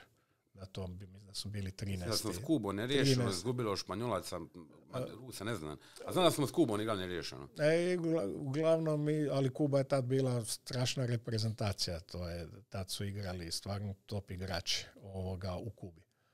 I kažem, tu smo ono doživjeli neuspjeh i kažem, i onda ponovo je e, tada došao poslije tog Japana, svjetskog prvenstva, ponovo je bio angažiran moj tata i u, vratili su ga i u Zagreb i u, i u reprezentaciju. Ali opet se znači događa e, i u Sevilji jako loše. Mislim da smo od Rusa izgubili Nije 15, to bilo u 16 Italiji, u Italiji. U Italiji 98. na Europskom prvenstvu baš jako loše i onu zadnju utakmicu protiv Mađara isto gubimo i na svjetskom prvenstvu isto debakl. Da. Kažem, znači neki igrači tada već ono, bili su na zalasku, neki su počeli ucjenjivati hoće igrat, neće igrat. Ovoga, e, i Puc je isto presto igrat za, za Hrvatsku. I sad je ono, meni to sad teško reći, ali neki igrači su imali po meni instrukcije da naprave razdor u momčadi. Da li mislite na sukob Jovića vašeg oca? Pa dobro, to je kulminiralo bilo na, na tom svjetskom prvenstvu u Egiptu, ali kažem, te neke druge stvari, e, ne znam. Znači, to mi je sad teško govoriti, ali znam da nije bila atmosfera takva i znam da je bilo problema oko toga da neki igrači nisu htjeli igrati ovo, pa hoće dolaziti, pa neće, pa onda stari rekao pola tih neke igrače onda otpisao, jer se nije htio dao ucjenjivati, ali kažem, znači cijela, ja znam kako je biti došlo do toga da staroga pozovu, iako ga oni tada nisu htjeli niti zvat. Kako? Kako? Ovako, znači, uh, tata je moj tada imao, njegova tadašnja djevojka je bila prijateljica od, uh, najbolja prijateljica od Tuđmanove snahe. I onda su oni bili, Tuđmanova snaha je bila kod tate na moru na Krku i tamo su se družili, a i moj deda je bio prijatelj sa, kućni prijatelj sa Franjom Tuđmanom. I tada je ovoga, uh, je tata bio pozvan to ljeto to je bilo ljeto 97. je bio pozvan na Brion da bude gost. Jer je tatin prijatelj bio onaj Šimunić, ginekolog koji igrao s Tužmanom tenis. I tata je onda išao sa tom svojom tadašnjom curom, djevojkom, je išao na Brione da bude gost kod Tuđmana. Tamo su igrali tenis, kartali i ono, imali su i muziku i tako dalje. I onda je u jednom trenutku na večer je Nevenka plesala sa mojim ocem i pitala ga, dobro, zašto vi niste naš izbornik ovoga, nakon toga što smo mi osvojili zlato, zašto niste nastavili? Onda je on rekao, pa zato jer ne odgovaram nekim ljudima u Savezu, jer imam kao svoj ja i ne dam da mi se niko miješao posao. I, ovoga, I tada je ona pitala tatu kao koja su to dvojice, tata je rekao Volarević i Gobac. A ona je rekla, dobro, kao vidjet ćemo šta će biti s tim i kažem i onda još ga je Tužman pitao staroga kao prije odlaska kao šta je s članstvom, ne, da li će se učlaniti u HDZ. Tata moj mu je rekao, rekao, gospodine predsjedniče, gledajte, ja vas mogu simpatizirati ovo, ali mene politika ne zanima i nikad nisam bio član nikakve niti stranke ovo, niti neću biti. Znači, to ne vidim sebe u tome i to ono, ajde, nije mu bilo drago kad je to njemu tata rekao i, ovoga, i, i otišli su. I nakon toga je na intervenciju e, Tuđmana je tata bio vraćen, Volarević je maknut iz kluba, Gobac je ostao zahvaljujući vez, veze sa Bobetkom i njegovim zadacima koje bi imao tokom rata ovoga, da ne pričam šta je, koje funkcije bio, ovoga, ali zahvaljujući Bobetku je ostao tu na, na toj poziciji gdje je. I onda su morali vratiti tatu i kad se Tuđman razbolio i kad ono već je ovoga, čim je umro, odmah su ga maknuli iz Zagreba i iz reprezentacije. Iako je, iako je Zagreb tada igrao dva puta finale ono Lige prvaka s Barcelonom. Pa dobro, nije on samo dva puta, mislim da kroz te 90. nakon onih, uh, aha, mislite s njim? S sa njim, aha, sa da, njim, to, da, to, kažem. Da. Znači... Nego sam mislio kroz cijele 90. od El Goriage pa one Barcelone još. Pa kažem. Aha, da, da, da, da jasno. Pa do, to su ono naj, najjačom Barcelonom u povijesti. Pa kažem, znači, a Zagreb je tada ono nije baš imao nekakvu igrački respektabilnu momčad kakvo imao ono u naše vrijeme. Stari, više stari igrači. Pa da, ne, a nije, do, tad je, kod Staroga su proigrali Džomba i Šprem i ovi neki mlađi igrači, ne znam, znači nije tu bilo osim nekakvog Saračevića i Bašića i ne znam ko je bio tada, ne znam, Toma koji puno nije ni igrao. Znači, Bilić je bio. Pa bio Bilić, ali kaže, nije, bio tak, nije bila takva takva igračka ovoga, kvaliteta ko što je bio kad smo igrali mi, kad smo bili prvaci. A stvarno zašto je vaš stari otišao nakon, nakon Atlante? Je on dao stavku, dobio otkaz? Ne, znači njega, on je bio trener u Esenu i onda su oni zamolili Esen da li ga Esen pušta za olimpijske Aha. igre. I on je rekao, oni su rekli kao može, ali poslije toga se vraća. Oni da su htjeli, znači nakon, nakon Atlante, oni su da su imali želje volje, mogli su reći ovoga, Esenu dajte da otkupimo njegov ugovor, bi to bi se bez problema završilo. Ali nije bilo jer znam da je već bilo nekakvih sukoba između staroga i dotičnog gospodina o kojem smo pričali. Čije još za vrijeme. Ovaj, e, zašto su nas e, Srbi ili Srbi Crnogorci ili SRJ u to vrijeme sredine 90-ih do, do Balićeve generacije gazile? Pa imali su strašnu momčad. Ali dobro, ali to je bilo ono, recimo u Egiptu, razaranje, pa vi niste bili tada u Švedskoj, razaranje. Još smo se najbolje držali u Sevilji. Mislim, svaka čast i Matić i Jovanović a ne, i Ne, imali, znači, imali su stvarno momčad top. Znači, imali su vrhunske golmane, e, vanjsku liniju vanjskih igrača strašnu, no dobre pivote, to je bila strašna reprezentacija. Ja sam nekako se uvijek najviše bojao Peroničića. Pa, pa Nenad je kad je ono, bio zdrav i spreman, ako ste mu dali dva koraka zaleta, nikoga nije mogao zaustaviti. Znači bio je stvarno bio zvijer od igrača. Ali opet nikad, oni su uzeli, ja mislim, svjetsku broncu 99. i možda i dvije prve. Ili, ne, oni su imali ima dvije, dvije bronce. Imaju dvije bronce, ova. To je problem bio i nekad Jugoslavije i to zato jer oni te nekakve svoje međuljudske odnose uh, uvijek su im remetili uh, uspjeh reprezentacije. Znači to, to što Hrvatska ima, to oni nemaju. I godinama, znači mi sad, ja sad govorim o, i kad smo imali uspjeh i neuspjeh, znači mi smo imali te neke zlatne dečke, ove, znači koji su ono disali zajedno i to je nekakvo zajedništvo i to, to je recimo velika prednost hrvatske reprezentacije odnosu na njih. Oni su imali, uvijek imali su top igrače, samo ti nekakvi odnosi kod njih, nezdravi, ovoga, međuljudski, to je po meni bilo glavni razlog da oni nikad nisu napravili ono što su imali, kakav su imali igrački kadar. E, ja se sjećam da se pričalo prije svjetskog prvenstva dvi treće u Portugalu da se nagovara Paku Čavara, ali sam negdje čuo da se i vas zvalo da se priključite reprezentaciji. Da. Vam sad žao? Pa sad je, sad mi bilo žao, kažem, znači, ono, ja sam... E vi ste se zapravo prostili nakon, nakon uh, Francuske dvije prve? Dvije prve, da, sa reprezentacijom sam se oprostio, kažem, još sam igrao ono u, u, klubu i kažem, tu zadnju godinu uh, sam ono, rekao, kad si već počeo to, otišao sam u Medeščak i rekao, gledajte, ne morate me ništa plaćati, kad me vidite na treningu vidite i ove utakmice u Zagrebu i tu blizu Zagreba ću igrati, a ove tamo daleko, mi se ne, nemam vremena se ovoga to Ako vam to paše, oni su rekli može i ovoga i ništa. Onda ovoga, kad smo igrali u Čakovcu, sam ušao u sukob sa sucima jer su nas krali. Tada sam ono bio kažen i onda sam otišao u Njemačku jer su me zvali E, iz tog kluba koji se borio gdje sam blizu tog kluba gdje sam igrao prije, da li, da, da li mogu doći da ispasim da ne ispadnu iz lige. Ja sam rekao, gledajte, nemam vremena, ali mogu doći, znači petak platite mi avion, petak dođem, odradim jedan trening, subotu odigram utakmicu i nedjelju se vratim. I ovo i oni su rekli može. I onda to je bila u biti zadnja moja godina ovoga, koju sam igrao i tad je došao i, i to je bilo, ono, moli su bili daj odi od, odradite to svjetsko prvenstvo.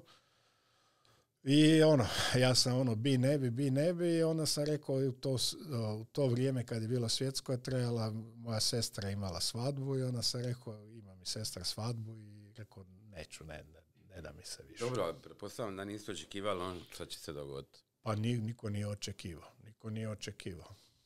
Je li to najveće čudo možda u povijesti sporta ili više, čak veće od možda Goranovog Wimbledona, jer ekipa koja je bila godinu dana ranije zadnja u Europi iza Izraela osvoji zlato. Još pogotovo nakon nakon filmskog uvoda da mi gubimo od Argentine, gubimo od, od Saudijske Arabije na polovremenu i onda se dogodi to što se dogodi. A mi, znači to ono što smo mi bili godinu dana ranije zadnje, to nije realna slika te reprezentacije bila. Znači ti dečki su tad još bili, ono nisu možda sazreli, dogodilo se još par tih stvari jednostavno. To kad krene kolan iz onda to tako i završi. Ali to nije bio odraz ovoga prava slika te generacije. Jer ne morate zaboraviti da je ta generacija koja je osvojila 2003. Kostur... Metkovića koji Metković, je IHF igra finale. I koja je već ono dvije, tri godine, dvije godine igro, igro, igro zajedno. Znači, bili su se poznali, ovo tu, ajde, kad tu staviš Džombus i stavio na desno krilo, ali znači on ne utječe na igru, znači ti izradiš, on će svoj zabit, ali Kostor, znači uh, Lacković, Balić i Metličić, oni su trenirali... Ima lijevo krivo i Kaleba. Pa da, i Kaleba, kažem, znači taj, uh, i Sulić je bio igro ovoga jednu godinu isto u, u ja mislim u, u Metkoviću ovoga. Je, je, je. Tako da su oni uh, igrali već ono, bile, donekle se znali, a prije toga su još Balić i Medličić igrali u Splitu zajedno. I tako, je, kažem, i onda trebalo je ono, neko vrijeme da, da sazrije, to je Lino na neki način isto posložio sve i dobro i dogodilo se to što se dogodilo. E, Pa bio je tu i, kad već spominjemo tu ekipu koja je bila u kosturu reprezentacije iz Metkovića, bio je tu jedno vrijeme kratko i Lacković. Pa Lacković je da, ali on je trenirao, znači tu godinu kad je bio... zašto vas to pitam? Pa znam, ali Lacković je, znači on je igrao cijelu godinu, on trenirao s nama. Znači on je, iako si bio kažnjen, nisu mu dali igrat, ali on je tu cijelu sezonu je on igrao i trenirao i sa Balićem i sa Metličićem, znači na svakom treningu su mi igrali zajedno. Vi ste bili tu sezonu, znači, e, dvi prva, dvi druga u, u, u- u Metkoviću, kad se to dogodilo, zapravo neki način možemo reći da ta sezona bila vrhunac i onda je krenuo zapravo taj nestanak Metkovića, gašenje Metkovića. Te sezone, nakon onog osvojenog kupa IHF-a protiv Flensburga i poraza od nikad jače Magdeburga, e, Metković je igrao četvrt finale protiv Portland e, San Antonija, tu su bili onaj Bjelorus Jakimović, pa bio tu Kiseljev, bio je tu Richardson, Richardson. Jovanović. Da, znači to a to je bilo, mislim, sve na gol dva razlike. Na, za jedan gol smo E, ispali. Znači, to je bila ono stvarno sjajna ekipa. E, znači, bili ste tamo. Št- u godinama se, znači, to je jedan od velikih, ono, čak bih rekao, nekih mitoloških aspekata hrvatskog rukometa, ta situacija sa, sa tom sezonom dvi oduzimanje titule Metkoviću i kažnjavanje Lackovića s tim bodovima. Šta se tu točno dogodilo? Pa dobro, to je počelo sve ovako. Znači, i Lacković i ja smo bili u Zagrebu. I krenula, ja sam čak i počeo pripreme sa Zagrebom. I kažem, tu godinu dana prije, od 12 plaća koje smo trebali dobiti, da dobili sam četiri dio pete. I počela je sezona, međutim vidim da se ništa nije promijenilo. Tad mene zove Obarvan i pita, hoćeš doći u, u Metković. Ja rekao, hoću, ako platite me toliko i toliko i dolazim. Ne. I on kaže, razgovarat ću s Jambom i zove me drugi dan i kao može. I kao i dolazi Lacković. I sad ja dolazim kod Gopca i rekao, gledaj, dajte mi papire, ovo nema smisla, ovo i dalje nema nikakve love. I, ovo. I onda on meni veli kao, dobro, ajde, tebi ćemo dati, veli je Lackoviću ne damo. Znači, iako i njemu nisu isplatili, on je imao apsolutno pravo tražiti raskid ugovora, je- jer je imao klauzulu, ako mu ne pla, kasni ne znam koliko mjeseci plaća, da ima pravo tražiti raskid ugovora. Međutim, meni su dali papire, njemu nisu dali papire i to je onda bila arbitraža i ta natezanja, normalno zna se pod čijom kontrolom je arbitraža u HRS-u bila. I uglavnom Lacković nije dobio pravo igrat. Ali on je trenirao cijelo vrijeme sa nama i kaže mi, to je sad, igrali smo mi nekakvu utakmicu onu zatvorenog tipa u, u Sloveniji, gdje je ovoga Lacković kao odigrao utakmicu, ali to nije bila službena utakmica. I onda su oni nakon toga, iako smo mi osvojili prvenstvo, prvo su rekli kao da e, oduzimaju šest bodova jer je Lacković igrao, a nema pravo igrat. Znači, to je, iako, e, kažem, nije bila niti službena utakmica, oduzeli su kao šest bodova, a onda su nakon toga, jer Metković je tada bio i domaćin e, završnice kupa, kao i tu smo mi osvojili kup, a e, onda su nakon toga, jer je Jambo tada već poludio i vidio da nema smisla da, da daje lovu, da ne može biti ni prvak, da, mu, da, će mu, da su mu oduz- oduzimaju za zelenim stolom prvenstvo i tada se on već počeo povlačiti. I, ovoga, I onda nije platio tu nekakvu kotizaciju što je trebao platiti za domaćinstvo tog završnice kupa. I onda su rekli, e sad zato jer niste platili oduzimom radi toga bodova, a ovo vam vraćamo bodove za Lackovića i opet su nam uzeli bodove i Zagreb je tako bio prvak. Složit ćete se da je to bio cirkus. Pa cirkus, pa normalno da je cirkus. E, je li je Ivano Balić, s njime ste igrali, njega ste trenirali. Je li on najveći igrač svih vremena? Ili je to po vama možda Nikola Karabatić ili neko treći? Pa to su znam da jesu. Jako, znam da, da, jesu, po meni jako glupa, glupa je ova nekakva, da li su to novinarska, znači to je toliko teško reći e, neko da je najbolji. Ali to, to ljude zanima. Pa to ljude zanima, znači Ivano sigurno uh, je bio atraktivan i, i, i dobio tu titulu najboljeg igrača svih vremena. Ovo. Sad da li je to bio Karabatić kompletni igrač od njega, bolji, znači, a Ivano je bio lucidni, ovaj je bio, znači, igru obranu i napad, ali, znači, bilo je još toliko igrača u, ono, u koji ja pamtim, znači, još i od vremena dok još se kuklinac igrao pa do danas, znači, mogo bi 20-30 nabrojat koji bi mogli ponijeti tu titulu. Tako da je to po meni totalno ono, bez veze ili najbolja sedmorka ili najbolja ovo, znači to su to su gluposti. Kad bi ja možda birao najbolju sedmorku... Ma ne, neću, znači stvarno neću, jer znači, to, to ja gledam iz drugih očiju. Jer nije, nije samo napad i golovi, znači ovoga postoji i obrana. Ovo, znači vi kao trener kad birate, za to vam je najbolji primjer, ne znam, e, ovi neki momčadi koje su kupovale igrače, plaćale, ne znam, Vespren, Paris Saint-Germain, pa, pa nisu napravile nikad ništa. Kako je moguće da Paris Saint-Germain koji godinama e, je imao i ne znam, Omejera i Abaloa i, i, i, i Karabatića i Hansena ne može do Lige prvaka? Pa zato je to treba naći nekakav miks. Znači, to je ono o čem vam ja pričam. Jer koji put treba, znači ne, ne mogu zabiti svi deset golova. Znači, to je recimo primjer, recimo Balić i Lazarov nisu mogli igrati zajedno a oba dva su top igrači, ali jednostavno jedan drugom su smetali. I ovoga, i znači Balić, Baliću treba prostora i Lazarovu treba prostora. A njih dvojica kad igraju zajedno u biti jedan drugome oduzimaju prostor. A oba dva su top igrači. I zato recimo ne znam, Balić je možda funkcionirao fenomenalno sa Metličićem. A Lazarov je možda bio napadački, odnosno u odnosu na Peru puno jači, ali Peru bio kompletni igrač. I sad je to pitanje, znači vi ko, ko trener onda ako imate nekakvu viziju, vi slažete momčat ne samo po, po napadačku, napadačku, nego koji igrač s kojim paše, koji će koga, ko može s kim igra dobro ili ne. Tako da ono da ti skupiš sad sve zvijezde koja svaka treba zad, pa ne igra se, igra se s jednom loptom, ne, ne igra se sa tri lopte da svaki ima svoju ono dionicu svojih šuteva. Ma ne, ne, jasno, ali u, godinama su oni blizu, igrali su ono finale, i izgubili su ono nesretne utakmice, mi govorimo Paris Saint-Germainu protiv Vardara, sve na zadnju loptu, ali mi nije nikako jasno kako je takva momča koja godinama igra zajedno uh, reprezentacija svijeta na neki način, jel? Ne može do trofeja, ali njihova stvar. Um, kako vidite ulogu Duvnjaka u ovoj reprezentaciji? Pa Duvnjak je sigurno vođa ove momčadi i ono, i, i kad i ne igra, on je na neki način autoritet i, i dobri duh ove reprezentacije. I vidim ga, znači kao prvenstveno e, ga vidim sad u Parizu, znači u nekim obrambenim zadacima, a u napadu da zamijeni u dionicama srednjega i ljevog vanjskoga. Jel ovo što je odigrao recimo protiv Njemačke u nekim trenucima je bilo sjajno? Da. Da. danima. Da.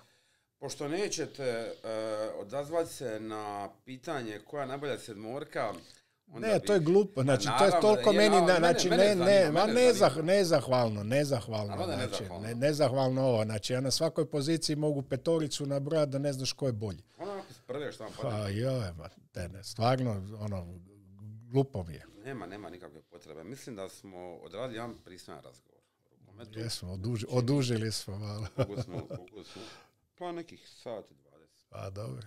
Ako nekako. Da. E, mislim da smo da, danas gotovi. Dragi gledatelji, e, bilo nam je drago.